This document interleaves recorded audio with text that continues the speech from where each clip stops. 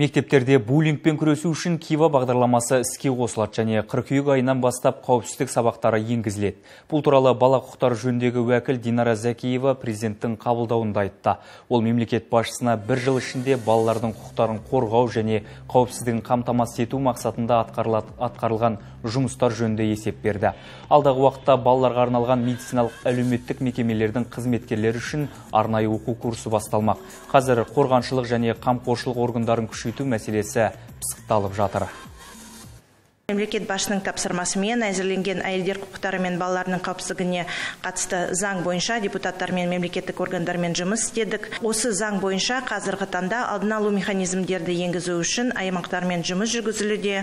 Сонымен қатар 111 мемлекеттік сенім телефонының ашылуымен айналыстық. Он айдың ішінде 13 мың өтініш бойынша жұмыс істедік. Сондай-ақ Самұрық Қазына ұлттық әл қоры Қазақстан халқына және қамқорлық қорларымен серіктестік негізінде алты аутизм орталығы, 11 өңірлік оңалту орталығы ашылды.